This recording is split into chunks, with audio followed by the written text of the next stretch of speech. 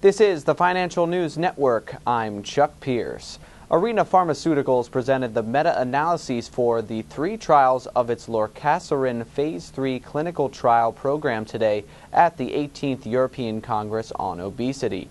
The presentation showed lorcaserin caused statistically significant weight loss compared to a placebo after one year.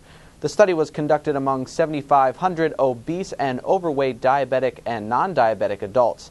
The loss in weight was associated with favorable changes in biomarkers that may predict cardiovascular and metabolic risk as well as quality of life.